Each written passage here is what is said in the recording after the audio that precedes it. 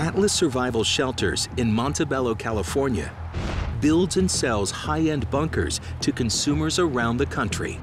And business is booming.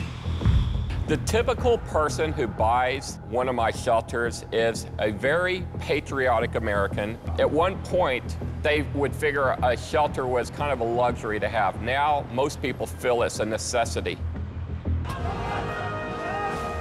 Atlas CEO Ron Hubbard believes that the need for a bunker may be more vital than ever.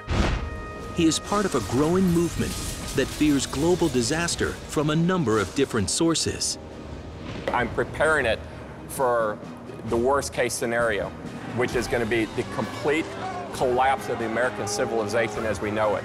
If you can look me in the eyes and tell me that if a terrorist got his hands on a nuclear bomb, he wouldn't come here and set it off, you're crazy. All they have to do is have one or two of these, and you'll create fear like you've never seen and panic in America. So it's just a matter of time. I mean, I'm the first one that doesn't want anything to happen. But when it does happen, at least I'm going to be prepared. The Atlas factory has several bunkers under construction at any one time. They are built here, placed on 18-wheelers, then shipped anywhere in the United States. Construction is simple and surprisingly efficient. I make them out of a round galvanized corrugated pipe, but I build a subfloor inside there, which means that in a 10-foot diameter pipe, you'll have 7-foot ceiling heights, but you have 3 foot of storage underneath the floor.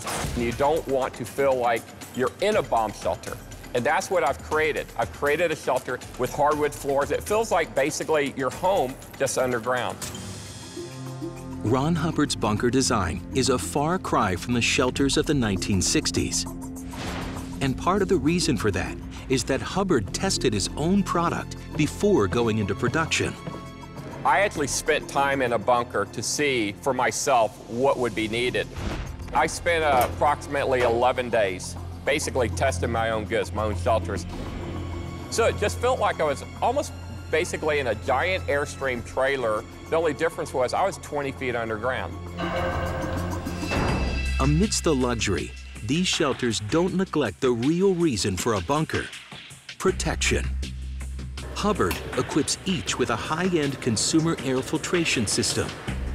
This uh, air system's claim to fame is that it was um, the same air system that Saddam Hussein had in his bunker. So if you lose your power, this is the easiest manual operated air system in the world. You just put a crank on here and you just crank it like that. See how easy it is?